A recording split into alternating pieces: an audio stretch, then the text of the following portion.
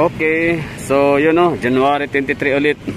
Ah, Janu January 3, 2023. Dito tayo ngayon sa may uh, Rojas Avenue kung saan ay magiging Rojas Night Market na siya gawa nung alas 5 na nga ng hapon.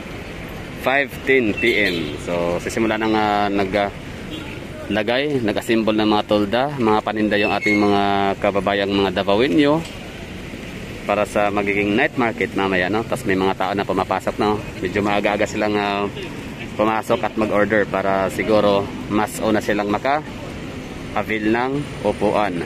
Okay. Pero sa video na to ngayon sa vlog na to ang pupuntahan natin is ang uh, Aldivinco sa Davao. Yan. pero syempre magsisimula tayo dito sa Rojas Avenue. Corner si Emrecto yan, dito na side si Imricto. Tapos Freedom Park. Tapos doon naman ay pabahada, no?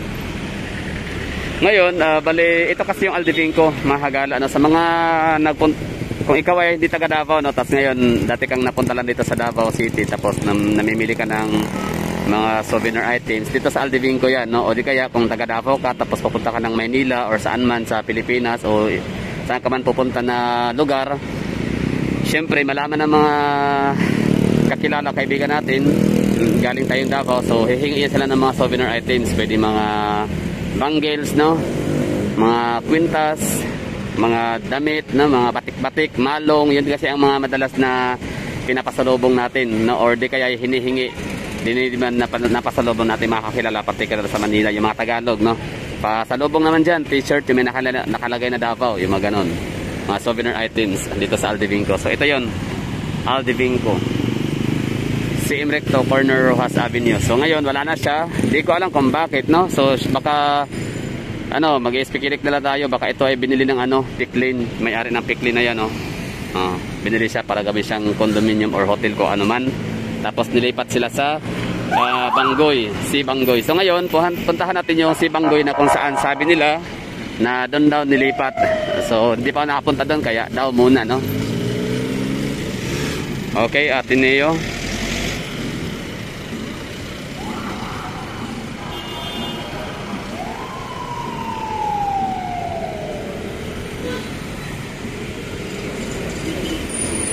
oras alas uh, ah, 5.13 ng hapon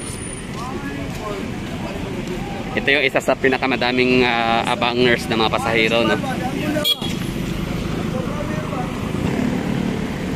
Vivaldi Residences no? Isa sa pinakamataas at pinakaligtas na building sa buong Mindanao.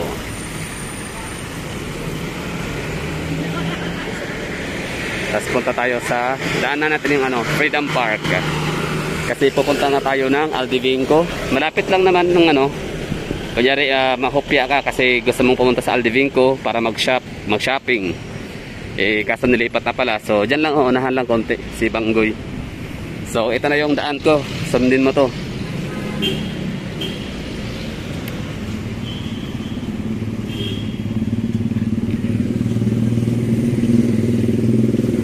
Ganda na ng ano natin dito, Freedom Park. Talagang mas uh, pinaganda inayos pa no? Open open park siya para pwede rin dito yung mga pits no?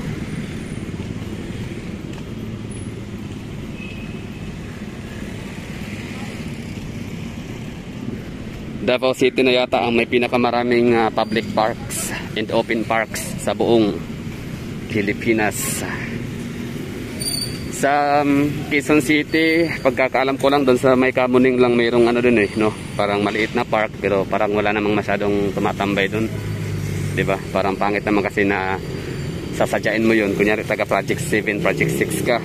'di ba? Sasadyain mo doon sa kamuning barangay hall para tumambay sa kanilang park. Tanaw lang natin yung kapag sumasakay ng MRT 'di ba? So given na kasi yan na kapag malaki ang syudad mo malaki ang uh, yung uh, space or yung ano yung land area. So meaning to say maraming mga barangay and maraming mga parks. Kaya kumbaga din nakapagtataka na malak maraming public public and open parks. Pero ba pero bakit sa Quezon City parang hindi ako masyadong nakita ng maraming parks doon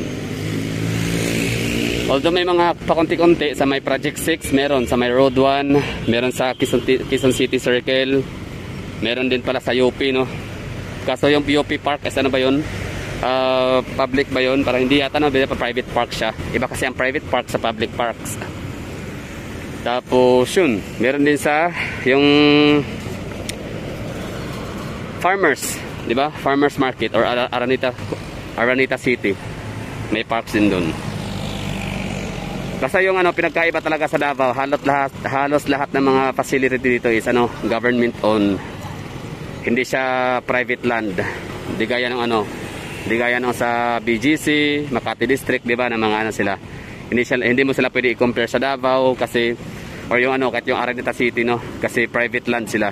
Hindi sila government owned. So, kung maganda man ang kanilang facility, naka-underground cabling, malinis, syempre, meron silang uh, budget yung ano, yung may-ari kasi private, privatized siya. Samantala nito sa Davao, lahat public. 'Di ba? Yung mga underground cabling natin dito, no, so ano siya, uh, government asset. Yan. So diyan yung ano ha, yung library, city library, 'di ba? Oh, sa ibang lugar siguro may mga library sila pero hindi siya sa city. Private din siguro. Okay, so punta na tayo doon. Mula rito tananan natin yung ano, yung sinabi nilang bagong Aldevinco. Yan oh, yan.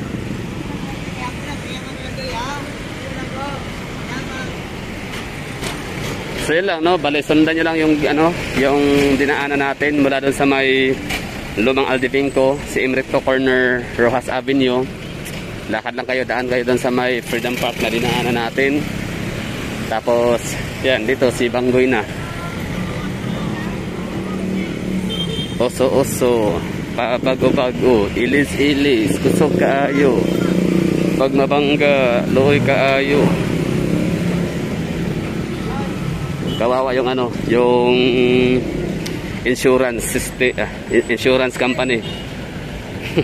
Mamulubi, mantakin mo 20 lahat patay. Oh. Eh dahil naka-insured, ayan, bayad.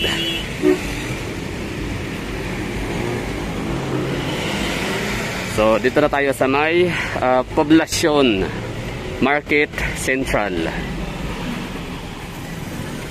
Papasokin na natin siya.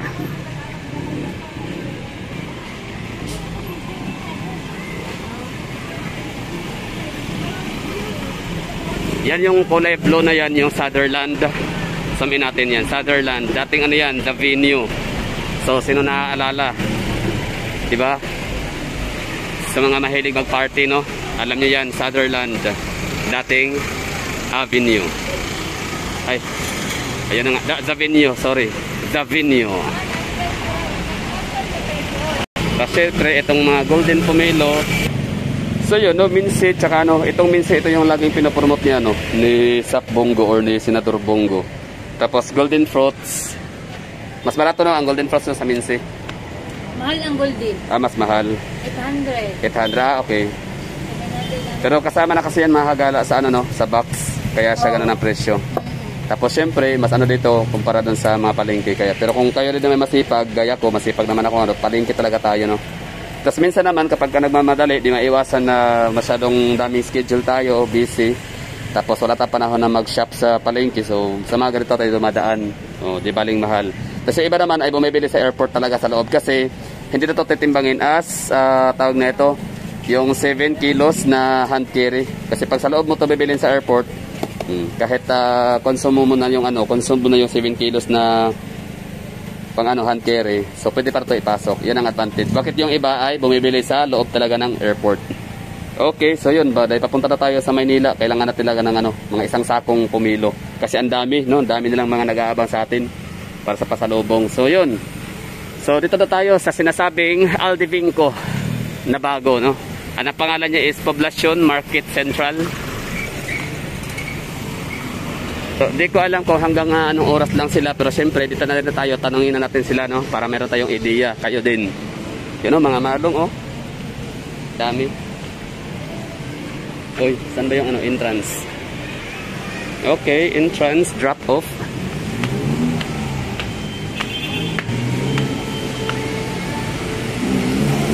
Kano saan ang ibalhin rin Aldibin ko, ma'am? Ha? Kano saan ang nagibalhin rin ah? Last year pa po. Last year lang. So, asa naman to akong ano? Kana mga sanina. Ground floor of second floor. Ground floor, asa repit dire banda. Yes, sir. Straight lang. Tapos second floor na po yung again nandito na yung hagdanan. Ay, Ah. hagdanan o elevator, sir. Okay, salamat. So dito tayo no. Putahan na natin. Mas maganda ngayon ang Aldibingco. Gawa nung may ano sila no. May pabangko sila. Meron silang ah, South Sea Pearl Jewelry. So ito na no. Yan ang hinahanap natin. Tapos meron silang palabi style. Yun.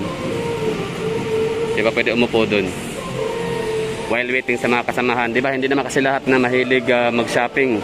May iba kasa- kasama lang no, body. Tapos habang nag-aantay, Madalas kasi sa mga mahilig mag-shopping, mga babae, no? So nakakapagod pag kasama mo babae. Nakakapagod. Ako lang, akin lang to, ha? Nakakapagod pag may kasama kang babae na magsa-shopping. Tagal nila mag-shopping. So ako naman ay naiinip.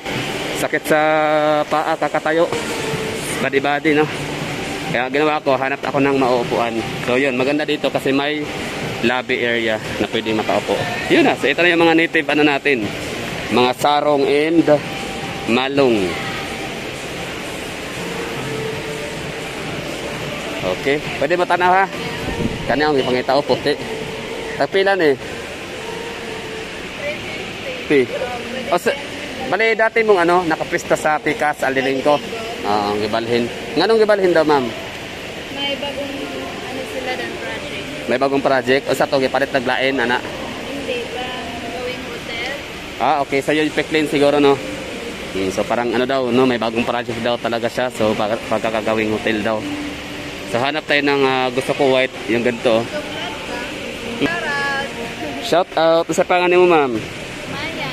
Shout out kay Ma'am Maya sa ang nga pangalan sa boutique ninyo.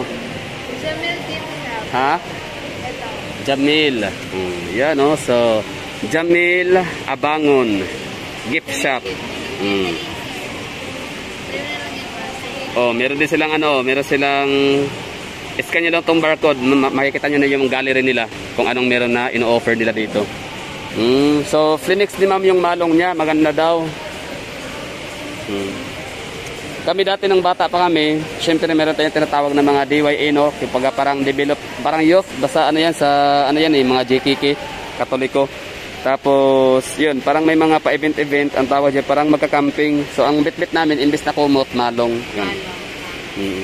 Ang malong kasi maraming ano, no? pwedeng ah, pang, pang tapis, pwede pang tulog, yan. Pwede pang. Mm, Pwede pang travel. So ito yung kailangan mga item dito. Souvenir items and gift shop. Okay. So punta kayo dito sa Jamil B. Ubangon gift shop. So ito ang dami oh. So ito yung ground floor ha. Tapos punta natin yung ano, second floor nila. Mas malawak sila dito. Alam niyo ba dati na ako ay ah, nagdi-deliver pala ng ano, ng 'di ba food delivery service ako sa Jollibee. So isa pala sa mga market ko is yung Aldivingco. So yung mga may-ari no, bumibili sila ng burger sa atin. Yan, may mga gatong souvenir dito, no? Souvenir item, tapos meron silang uh, tawag na ito, tumbler. I love Davao. So yun, perfect talaga to na ano na gift idea para sa mga kakilala natin, mga special someone na pwede pasalubungan kapag ka tayo ay nauwi ng Manila or dumadayo, no? May mga bayong din. Banig. Ayan, oh, so may pa-elevator siya. Astig, social. Pinabungga. Astig siya, no? I mean, ah, Dati kasi ang Aldivingco is ano siya, ground floor lang talaga siya, no? Ground level lang. So ngayon nilipat siya dito sa building na may pa second floor. Okay. Fights. Alson's office. Yan, ang second floor. So ganun pa rin, no? Dale's Gift Shop, Davao, Philippines. Ganda. Ito talaga yung patok niya, no? Pinakauso. So, Alson's office, no? Sikat yan sa Development and Investment Corporation dito sa Davao. May mga Alsons din na paggawaan ng mga plywood. Yan, Ajalila. Aljalila. Yan, di ba? Dami dito. So ito na yun mga kagala ha. So yun na naman ang uh, sole purpose ng ating vlog na to. Is uh, ipakita ko lang sa inyo yung kung saan matatagpuan ang um, Aldivinco. Bagong Aldivinco building. So yun, sa second, merong second floor, meron din ground floor. Mas malawak, mas maraming pwesto. Mas maluwag. Dati kasi medyo ano no, siksikan. Maliliit yung ano, yung mga hallway. Ngayon malalawak o malalaki.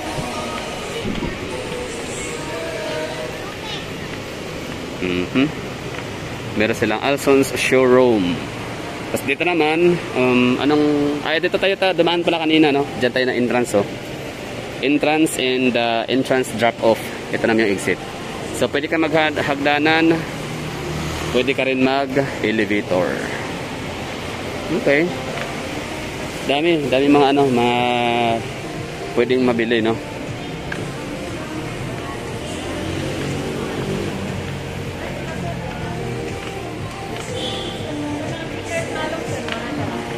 Sige, puntahan natin, no? Pinapapasok lang din naman tayo ni ma'am. Dagan natin yung t-shirt. T-shirt. Ayun, yung mga kagaya sa ating damit, tingnan mo, di ba? O, yung damit natin, isa na siya, no? Semi-Hawaiian style. Uh, bili natin to sa Kultura, SM. Ito yung pili kong damit kasi ano siya, dahil nga sa klima natin sa Pilipinas napakainit, di ba? So, mas pabor sa akin to, gawa nung lagi tayong naglalakad sa kalye. So alikabok, usok, tapos init ng araw. So siyempre papapawisan tayo ng napakaraming singot. Kaya prefer sa akin itong ganito, napakanipis sa tila. Tapos hindi siya mahirap labhan at ang bilis niyang patuyuin. Tapos minsan naman kahit gulubot siya, gusot, eh, hindi siya masyadong mahalata gawa nung sa design. So meron sila dito oh. Tagpila yung mga inani ma'am? 380 sir. 380. So di mas ano siya no, mas barato. Di hamak na mas mura siya kumpara sa nabili natin na 599 pesos sa kultura. Palibasa, SM din kasi yun eh. Tsaka kultura. Sino ba ang ambassadress ng ano, kultura and ambassador? Dingdong Dantes and Marian Rivera. Sige daw ma'am, tanaw daw po ma'am. Pala no, so may, sa, sa mga nagsasabing maganda yung damit, bagay sa akin yung Hawaiian Hawaiian style. So, eh, 'di ba nagtatanong ka kasi ako nabili, so siyempre kultura 'yon, SM. Lahat ng mga SM meron silang kultura. Tapos di ko, di ko alam sa ibang mall. So, meron din pala dito no. So, kung alam ko lang na meron palang ganito mabibili sa Aldivinco, uh, dito na tayo nakabili sana yung 600 natin dalawa na so ito yung hanap ko na isa. Gusto kong damihan nito kasi ano siya komportable dito suotin. Nap mo dati ano pisto sa pikas. Meron sir. Hmm. tapos nganong nahawa dito ah, ma'am? Nganong gitanggal? Mo untuk kondo kondo. Kanang piklin mo na siya? Lahi lahi pod. Hmm. kay syempre ang uban mga tana asa dapat na ang ano Aldivinco nawala na. Siyempre, di ba, Aldiving kagin ng gift shop, mga pangpasalubong sa mga special someone, pag matatag Manila. So, Aldiving ko kagad yan. Iba kasi sa ano, eh, island souvenir kasi walang, walang island souvenir sa airport ha. Kaya kung gusto niyo ng mga pangregalo, dalhin nyo dyan sa Luzon and Visayas. Pag galing kayong Davao, puntahan nyo ang Aldivinco. So yun lang, sundan nyo lang yung vlog ko mula dun sa pinaka-corner nung si Imrecto slash corner um, Rojas Night Market or Rojas Avenue no. La, ano lang, mga 100 meter lang ang distance mula sa lumang Aldivinco. Mahanap niyo na dito. Marami oh, daming ano. Ito yung patok ngayon na style design. Tapos yun parang mga Hawaii-Hawaiian style sa papambabae naman to dito, yan. Oh. Mga batik-batik, mga malong, sarong, yan, Aldivinco. So yun no. Uh, kasi dati kasi ang ano nag uh, asam ako na kaya siya tinanggal dahil sa pandemic no nag-close tapos yun bininta ng may-ari yan yun pala talaga gawin siyang ano uh, condominium Usang oras ang ano dre ah, ma'am open o close 9 o'clock to 7 sir 9 a.m. to 7 p.m. Okay, so yun. Yun yung ano open ng ating ano dito. Mas maganda nga no ang Aldivinco na bago kasi meron silang elevator. Sige ma'am, ta kayo dito sa Kenneth Shop, gift shop. Yan o. Ano lang siya? Pinaka entrance yan. Kinet gift shop. Marami no. Pero marami pa rin ano, stall dito na wala pang ano, wala pang laman. Hindi pa occupied. So yan ang nga sabi ni ma'am, hindi pa lahat ay nagsilipatan.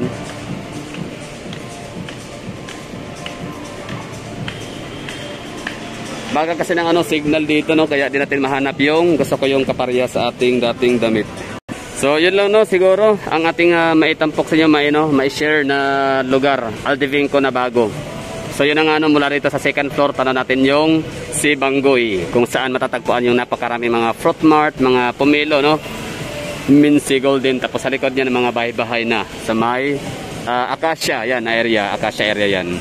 Tapos Vivaldi Residences tapos yun lang no second floor and ground floor meron tayong makikita mga uh, boutique souvenir items and gift shops so yun nga lang hindi pa lahat no ay uh, occupied marami rin bakante marami pang mga dating nasa living ko na luma na hindi pa nakapaglipat ng kanilang pwesto or hindi pa sila nagsimula.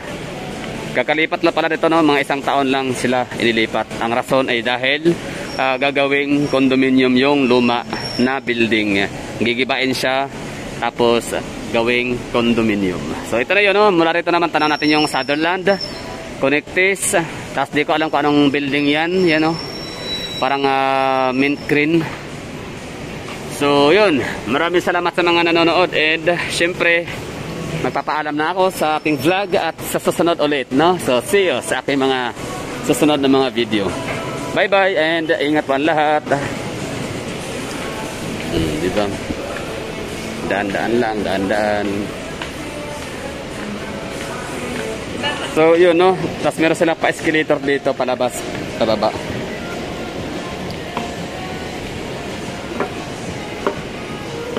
Yan lang. Maraming salamat at ingat po ang lahat. Maraming salamat sa mga nanonood at lagi sa bye-bye. Bye. May coffee shop din pala dito. Maganda din, no? Boss Coffee. Yan, masarap yan. Mura lang compare sa ating uh, nakasan na-try sa Starbucks. Okay.